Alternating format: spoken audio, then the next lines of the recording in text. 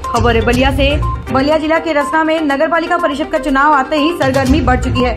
रसना नगर पालिका में एक तरफ़ जहाँ संभावित प्रत्याशी अपनी जीत के प्रयास में जुट गए हैं, वहीं दूसरी ओर नगरवासी एक बेहतर प्रत्याशी को वोट देने का मन बना लिया है। नगरवासियों का कहना है कि जो रसना का विकास करेगा, हम लोग उसी को वोट करेंगे।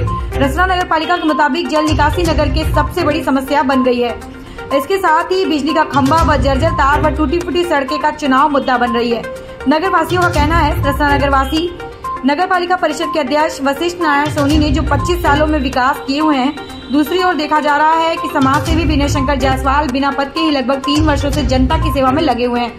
जैसे शमशान घाट, कब्रिस्तान, बाउंड्री के अंदर लाइट की व्यवस्था, एंबुलेंस, मुस्लिम हो या हिंदू, लाशों को कंधा देना, पाँच, चार, चक्का गाड़ी, जनता की सेवा में देना, शव, फ्रीजर, पच्चीस शादी कराए हैं।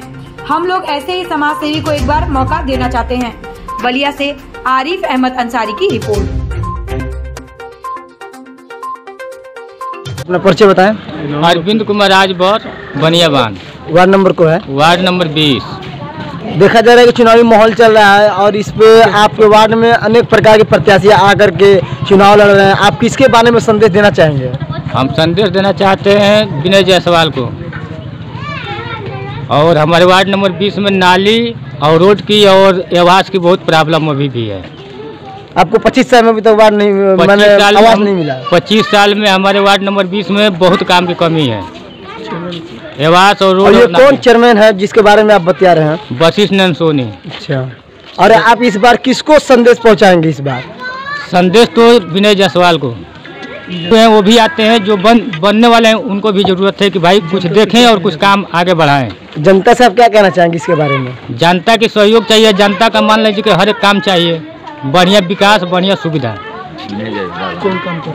कौन काम करना चाहते हैं उनसे? नाली और रोड शौचालय। जो हमारे क्षेत्र में बूढ़े पुरानिया गुजर गए वो गंगा जी के तीर तक शमशान घाट तक जो हॉस्पिटल में जाने वाले परेशान आदमी हैं उनके लिए साध, साधन और व्यवस्था चाहिए। उस पहुँचाने वाला का नाम बता दीजिए। विनय जायसवाल। देना चाहते हैं। कारण क्या?